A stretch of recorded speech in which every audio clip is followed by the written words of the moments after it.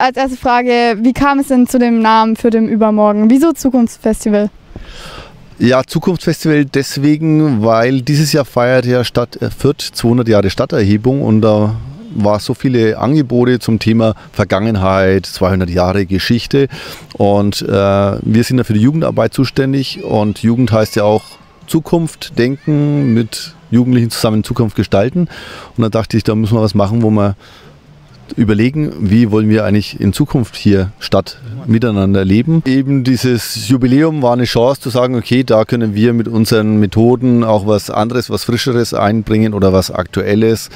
Und da haben wir die Chance genutzt, zu sagen, okay, da reihen wir uns mit ein. Wir haben halt ganz viele Initiativen, die hier auf dem Platz ihre Zelte aufgeschlagen haben, Infostände. Also es stellen sich erstmal viele vor, die aktiv in der Stadtgestaltung, vor allem auch in dieser nachhaltigen Stadtgestaltung da sind. Also das heißt, wie Fair Trade Town stellt sich vor, dann eine Weltladen äh, stellt sich vor, äh, Bund Naturschutz, Müll- und Umweltverein stellt sich vor, Fahrradinitiativen, dann das Projekt Echt Fürth, also das Partizip Partizipationsprojekt der Stadt Fürth des Jugendamtes stellt auch vor, was sie machen, wie man sich beteiligen kann.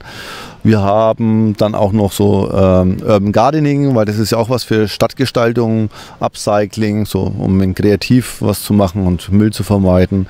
Dann haben wir äh, die Lebensmittelretter hier am Platz, die auch zeigen, wie sie arbeiten und natürlich auch immer wieder Mitglieder suchen. Dann Nimm und Gib, das ist der Tauschring hier in Fürth. Also klar, das Teilen, Tauschen, Wiederverwerten ist ein großes Thema.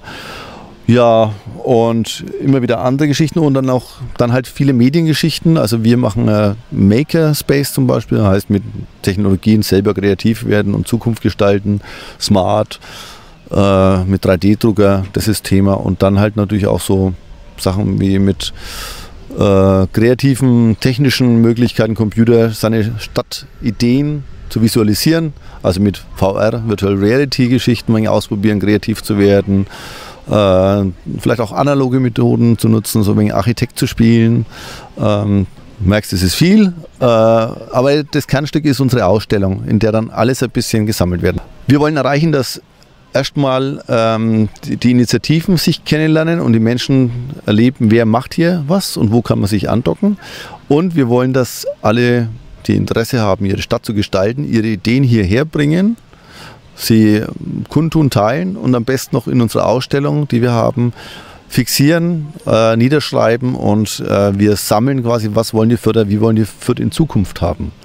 Und das soll dann der Politik übergeben werden, der Stadtverwaltung, damit sie auch sieht, was sie zu tun hat.